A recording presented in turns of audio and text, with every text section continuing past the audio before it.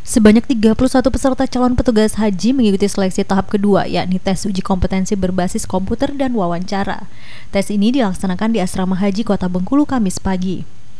Ke-31 peserta ini terdiri dari 11 orang tim pemandu haji Indonesia atau TPHI, 8 orang tim pembimbing ibadah haji atau TPIHI, dan 12 merupakan petugas haji Arab Saudi yang terdiri dari dua orang pelayanan akomodasi, dua orang pelayanan transportasi, empat orang pelayanan konsumsi, dua orang pelayanan ibadah, dan dua orang petugas siskohat. Kabit Penyelenggara Haji dan Umroh Kanwil Kemenak Provinsi Bengkulu Intihan menyampaikan, dalam tes ini wawasan peserta akan diuji seperti seputar ibadah haji, tupoksi sebagai petugas haji dan moderasi beragama.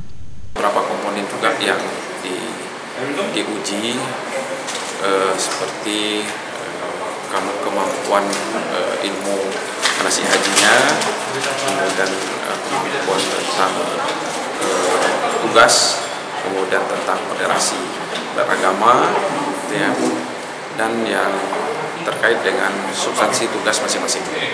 Dari hasil seleksi akan dipilih 14 peserta terbaik dan disampaikan kepada petugas seleksi di tingkat Kementerian Agama.